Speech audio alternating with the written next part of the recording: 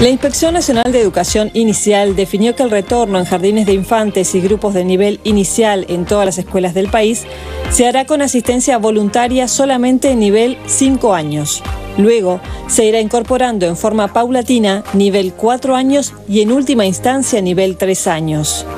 La Inspección Nacional de Educación Inicial definió que el 15 de junio comiencen las clases en todos los jardines de infantes y grupos de educación inicial en escuelas comunes, de práctica, de tiempo extendido, de tiempo completo y a aprender en el interior del país.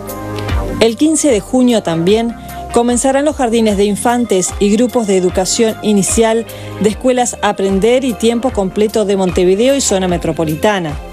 Y el 29 de junio volverán los que concurren a jardines y escuelas de Montevideo y zona metropolitana. Se establece que la jornada diaria no debe superar las tres horas y con una frecuencia semanal de dos días. La sugerencia es que se realicen dos días consecutivos al inicio o al final de la semana. Cada centro educativo planificará el retorno de acuerdo a los recursos humanos y edilicios.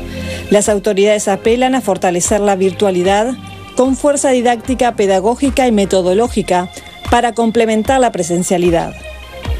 Los miércoles, además de ser el día que se desinfectarán todos los centros, será el día para la atención de niños que requieran una atención personalizada específica. Además, se le pide a los grupos técnicos que hagan chequeo de asistencia, estados emocionales de niños y familias.